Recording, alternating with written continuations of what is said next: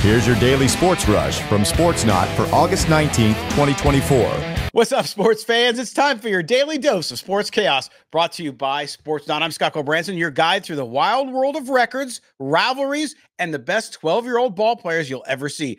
Buckle up because we've got four stories to blitz through faster than Gardner Minshew's mustache magic. Let's roll. First up, Caitlin Clark is out here rewriting WNBA history books like it's no big deal. This Indiana Fever rookie just served up her 232nd assist, snatching the rookie record right out of Ticha Penicheiro's hands.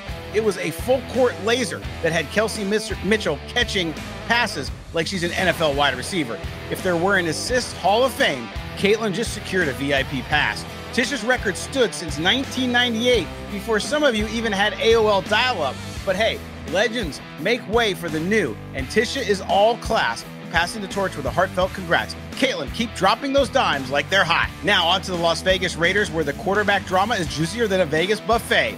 Antonio Pierce had to pick between Gardner, Minshew Mania Minshew, and Aidan the Irish Cannon O'Connell. And drum roll, please.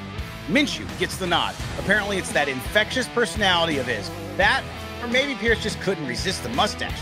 O'Connell's still in the wings, and knowing the Raiders' luck, he'll get his shot sooner rather than later. But for now, Minshew's got the keys to the Raiders' offense. Just don't ask him to parallel park. Speaking of quarterbacks, let's check in on the NFL rookie class where Caleb Williams and Jayden Daniels are making their mark. Williams, the number one pick, is out there channeling his inner backyard football legend zigging, zagging for touchdowns like he's got cheat codes activated. Meanwhile, Daniels is showing off some serious pocket poise for the Commanders, slicing through defenses like a hot knife through butter. These kids are the future, and it's looking bright. Sunglasses, please. And finally, from the bright lights of MLB to the pure joy of Little League, the Yankees and Tigers went full on kids for a day at the Little League World Series. Picture this Aaron Judge towering over a bunch of 12 year olds, handing out pins and sliding down hills like it's recess. It's like a baseball field trip on steroids, but you know, not the illegal kind. The big leaguers were starstruck by the little leaguers, and it's moments like these that remind us why we love this game. Because no matter how big you get, it's always fun to play like a kid. All right, that's your daily sports rush from Sportsnaut.